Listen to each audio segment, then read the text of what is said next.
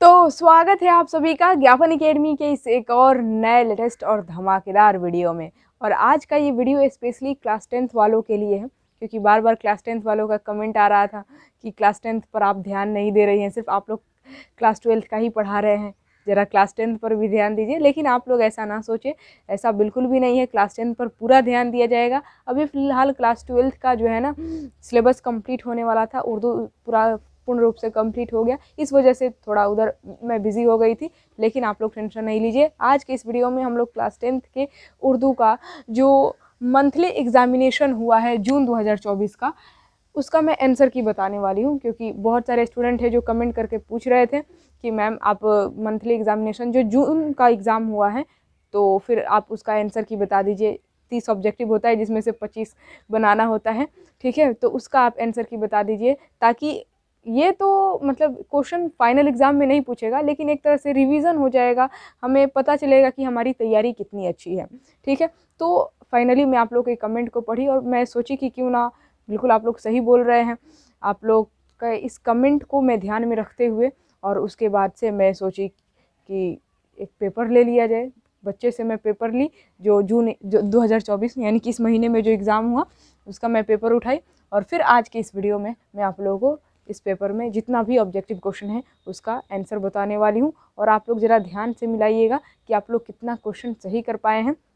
और अगर आप लोग का गलत भी हो जाता है ना तो कोई टेंशन लेने वाली बात नहीं है, क्योंकि ये फाइनल एग्ज़ाम नहीं है, ये मंथली एग्ज़ामिनेशन है। मंथली एक तरह से टेस्ट है, ठीक है? टेस्ट में आप बहुत बढ़िया प्रदर्शन कर रहे हैं, इसका मतलब आप लोग की तैयारी अच्छी है। और अगर ख़राब भी प्रदर्शन कर रहे हैं तो एक तरह से मोटिवेशन मिलेगा आपको कि हाँ अब हम अच्छे से तैयारी करें। तो अगर आपका कम नंबर आता है मतलब ऑब्जेक्टिव आपका सही नहीं हुआ है ज़्यादा, ठीक है मतलब उर्दू में बहुत ही कम नंबर आ रहा है तो फिर यहाँ पर ज़रूरत है आप लोगों को और भी ज़्यादा अपने अंदर मोटिवेशन लाने की और जोश जुनून के साथ पढ़ाई करने की, ठीक है? और रही बात क्लास टेंथ की उर्दू के सिलेबस की, कि मतलब आप लोगों का कमेंट आ रहा था कि मैम पढ़ाइए। हालाँकि मैं बहुत पहले ही बता चुकी थी कि टेंथ क्लास का उर्दू ऑलरेडी पढ़ाया जा चुका है। हर एक चैप्टर का वीडियो यूट्यूब पर अवेलेबल है। आप लोग सर्च करके भी देख सकते हैं। हालाँकि अब आप लोगों को सर्च करने में दिक्कत हो रही है। आप लोगों को मिल नहीं पा रहा है। इस वजह से मैं क्या की हूँ? कि क्लास टेंथ के हर एक चैप्टर का चैप्टर वाइज जितना भी वीडियो है, यानी कि जो प्लेलिस्ट है डायरेक्ट प्लेलिस्ट ही उठाकर इसी वीडियो का डिस्क्रिप्शन में डाल दी हूँ। तो बस जो टाइटल दिख रहा है ना, इस वीडियो का टाइटल दिख रहा है, उस पर क्लिक कीजिए तो डिस्क्रिप्शन खुल जाएगा। और उसी में जब आप लोग ध्यान से देखेंगे तो लिखा हुआ मिलेगा क्लास टेंथ उर्दू प्ले और नीचे लिंक दिया रहेगा। जैसे ही आप लोग लिंक पर क्लिक करेंगे तो उस प्लेलिस्ट का सभी वीडियो आप लोगों को मिल जाएगा वहीं पर, यानी कि क्लास टेंथ की उर्दू का ऑल चैप्टर का वीडियो अवेलेबल है। वन बाई वन करके आप लोगों को मिल जाएगा और वहाँ से क्लास टेंथ के उर्दू का ऑल चैप्टर आप लोग कंप्लीट कर सकते हैं। ठीक है, और यहाँ तक कि क्वेश्चन आंसर भी कराया गया है तो क्वेश्चन आंसर भी कंप्लीट कर सकते हैं। ठीक है तो आई होप आप लोग को समझ में आ गया होगा। अब आप लोग बार बार कमेंट बॉक्स में ये लिख कर नहीं पूछिएगा। ये लिख, ये मत कहिएगा कि मैम चैप्टर कंप्लीट कराइए चैप्टर कंप्लीट कराइए, क्योंकि आप लोग को ऑलरेडी चैप्टर कंप्लीट कराया जा चुका है। हाँ रही बात जो इंपॉर्टेंट क्वेश्चन है important objective question subjective question वो कराया जाएगा। अभी फ़िलहाल आप लोग सारा चैप्टर कंप्लीट कर लीजिए। टेंथ क्लास के उर्दू में जितना भी दरक्षा के बुक में, रोशनी के बुक में जितना भी चैप्टर है, सभी चैप्टर को कंप्लीट कर लीजिए। उसके बाद से जो 2025 के एग्ज़ाम के लिए इंपॉर्टेंट ऑब्जेक्टिव है सब्जेक्टिव है, वो कराया जाएगा। टॉप हंड्रेड करके टॉप दो सौ बीस टॉप तीन सौ, इस तरह करके मैं आप लोगों को कराऊँगी। तो उस तरह का वीडियो आप लोगों को मिस नहीं करना है। अभी फ़िलहाल आप लोग चैप्टर कंप्लीट कीजिए और जो इम्पोर्टेंट ऑब्जेक्टिव और सब्जेक्टिव कराया जाएगा, उसको मिस नहीं कीजिएगा, क्योंकि वो काफ़ी इंपॉर्टेंट होता है। जो भी मैं गेस करती हूँ, आप लोग के फाइनल एग्ज़ाम में क्वेश्चन पूछा जाता है। तो जो मैं गेस्ट क्वेश्चन कराऊँगी सब्जेक्टिव हो गया ऑब्जेक्टिव हो गया लगातार वीडियो अपलोड होता रहेगा, ठीक है? तो उस वीडियो को बिल्कुल भी आप लोग मिस नहीं कीजिएगा, ठीक है?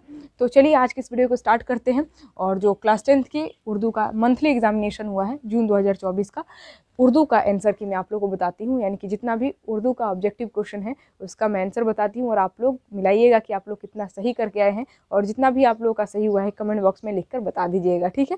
So now without any delay let's go to start तो जैसा कि आप लोग देख सकते हैं, लिखा हुआ है class tenth monthly examination June 2024 Urdu का ये क्वेश्चन पेपर है। और देखिए स्टार्टिंग में हर क्वेश्चन पेपर में थोड़ा बहुत इंस्ट्रक्शन दिया जाता है। तो यहाँ पर भी इंस्ट्रक्शन दिया गया है कि सवाल नंबर एक से लेकर तीस तक जो है ना, वो ऑब्जेक्टिव क्वेश्चन है। यानी कि तीस ऑब्जेक्टिव क्वेश्चन है, जिसमें चार ऑप्शन दिया गया है। कोई एक ऑप्शन सही है, आपको चुनना है कि आपके हिसाब से कौन सा ऑप्शन सही लगता है। और ध्यान रहे, एक से लेकर तीस तक तो सवाल है, लेकिन केवल पच्चीस सवालों के ही जवाब देने हैं आप लोगों को।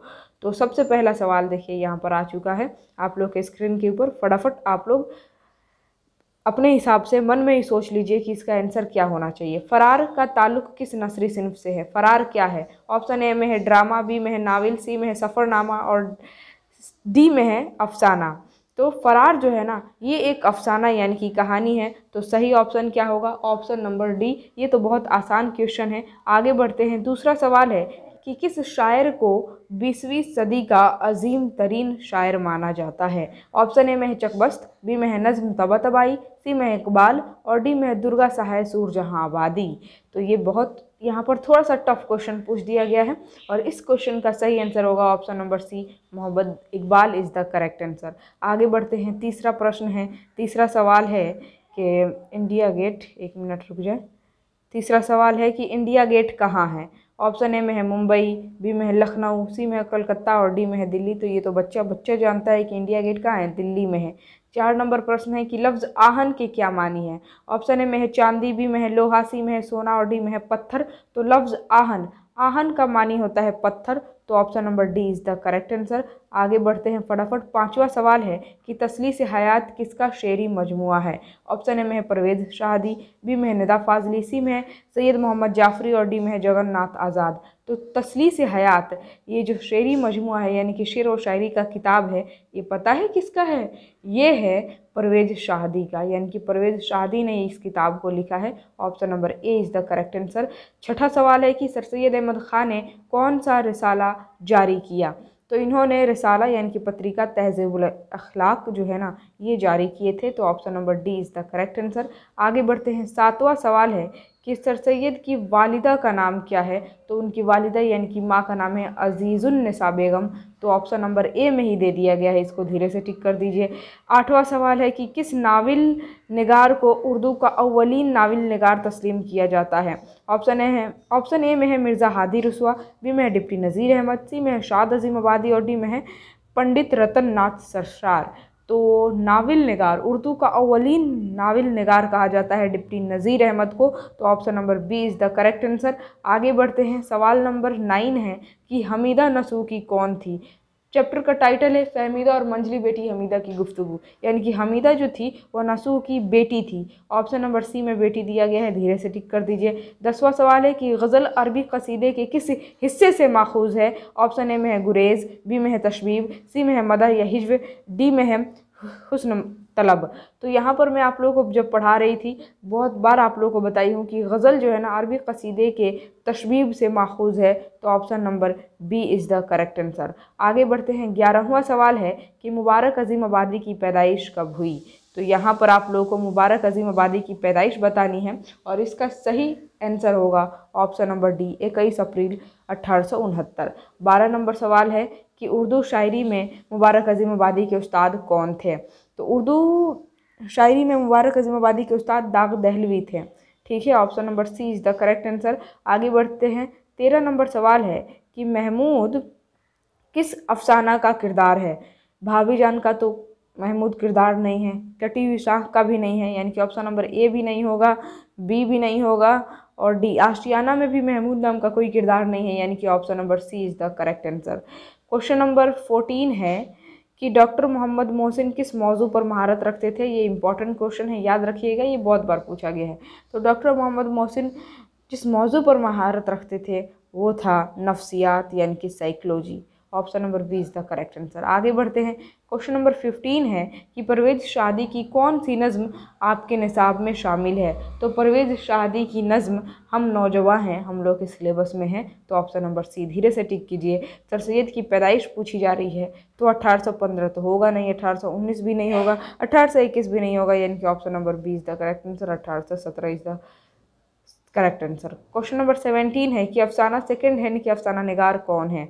तो सेकंड हैंड ये जो कहानी है ना, इसके राइटर यानी कि लिखने वाले हैं Vaikom Mohammad Basheer option number A is the correct answer question number eighteen की मलयालम किस सूबा की ज़ुबान है? किस राज्य की ज़ुबान है? मलयालम, यानी कि किस राज्य की भाषा है? तो मलयालम याद रखिएगा, Kerala. Option number D is the correct answer Kerala का ज़बान यानी कि भाषा है। आगे बढ़ते हैं क्वेश्चन नंबर नाइनटीन, कि नाविल तोबतल नसू के मुसनफ़ कौन है? तो इस नावल के जो राइटर है, यानी कि लिखने वाले लेखक, वो हैं deputy Nazir Ahmad. Option number B is the correct answer. बीस नंबर प्रश्न है कि बादशाह वक्त या उम्र की तारीफ़ से जो एजाज़ी नाम दिए जाते हैं, वह क्या कहलाता है? तो वो खिताब कहलाता है। बादशाह या बादशाह वक्त या फिर हुक्मरान वक्त। मतलब जो सरकार की तरफ़ से, बड़े आदमी की तरफ़ से मतलब सरकार की तरफ़ से जो एजाज़ी, जो ख़ास नाम दिया जाता है आपकी खूबी या फिर कमाली के बदले तो उस नाम को कहा जाता है किताब जैसे कि पद्म श्री एक खिताब है। ठीक है? आगे बढ़ते हैं। क्वेश्चन नंबर ट्वेंटी वन है कि दर्ज झैल में हाय मुख्तफ़ी की पहचान कीजिए। इसका सही जवाब होगा ऑप्शन नंबर सी, रिश्ता। बाईस नंबर सवाल है कि ज़मीर की कितनी किस्में हैं? तो ज़मीर की पाँच किस्में हैं तो ट्वेंटी टू का कौन से ऑप्शन में दिख रहा है? पाँच। ऑप्शन नंबर डी में दिख रहा है तो धीरे से टिक कर दीजिए। आगे बढ़ते हैं। क्वेश्चन नंबर ट्वेंटी थ्री है कि जेल में ज़मीर इशारा की निशानदेही कीजिए।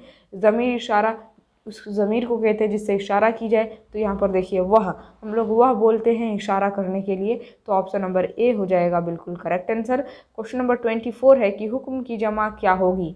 हुक्म की जमा होता है, यानी कि प्लूरल बहुवचन अहकाम। Option number B is the correct answer. आगे बढ़ते हैं, पच्चीस नंबर प्रश्न है कि वह कलमा जिससे किस इसम की कीफियत, हालत, अच्छाई या बुराई का इजहार हो, क्या कहलाता है? तो उसको हम लोग फे उसको फेल नहीं, बल्कि सिफत कहते हैं।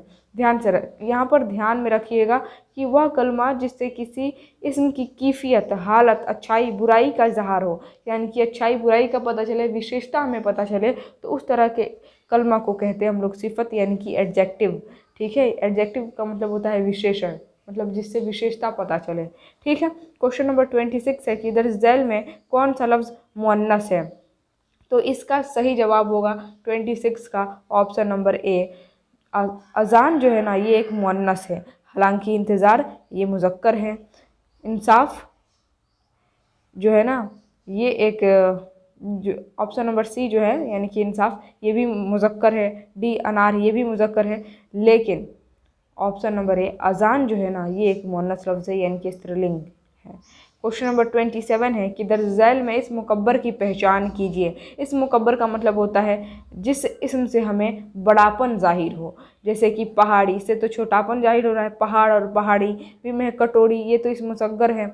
इस संदूकचा, ये इस मुसगर है। इस मुकबर बाग है, यानी कि option number C is the correct answer. बाग जो है ना, इससे बड़ापन ज़ाहिर हो रहा है। और हालाँकि बागीचा बोला जाएगा तो छोटापन ज़ाहिर होगा कि यह बागीचा बाग से छोटा है। तो बागीचा हो जाएगा इसमें मुसगर और बाग हो जाएगा इसमें मुकब्बर।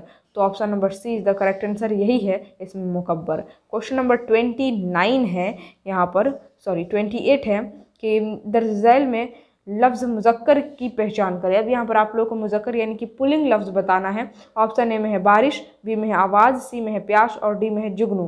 तो जो मुजक्कर लफ्ज़ है, एक मिनट। पहले तो यहाँ पर बारिश होगा नहीं, ये तो मोनस है। आप लोग सुने होंगे, मेरा यार हंस रहा है, बारिश की जाए, बारिश की जाए। यानी कि बारिश जो है ना, ये स्त्रीलिंग लफ्ज़ है तो ऑप्शन नंबर ए तो होगा नहीं। बी भी नहीं होगा, क्योंकि आवाज़ आ रही है, आवाज़ आ रहा है, नहीं होता है। कहीं से आवाज़ आ रही है। ठीक है? तो यहाँ पर आवाज़ जो है ना, ये भी स्त्रीलिंग है, यानी कि मोनस है, मुजक्कर नहीं है।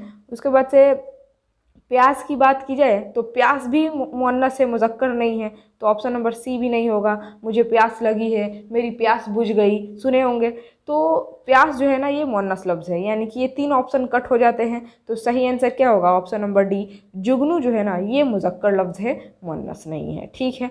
आगे बढ़ते हैं। लास्ट दो क्वेश्चन है। क्वेश्चन नंबर ट्वेंटी नाइन है कि डॉक्टर मोहम्मद मोहसिन के अफसानवी मजमू का क्या नाम है? ऑप्शन है चारा गर्बी में चार चेहरे, सी, में है अक्स और डी, में अनोखी मुस्कुराहट। तो डॉक्टर मोहम्मद मोहसिन जो डॉक्टर डॉक्टर मोहम्मद मोहसिन हैं, जिनको साइकोलॉजी पर यानी कि नफ्सियात पर महारत हासिल है, उनका अफसानी मजमू यानी कि कहानी की किताब का नाम है अनोखी मुस्कुराहट। Option number D is the correct answer.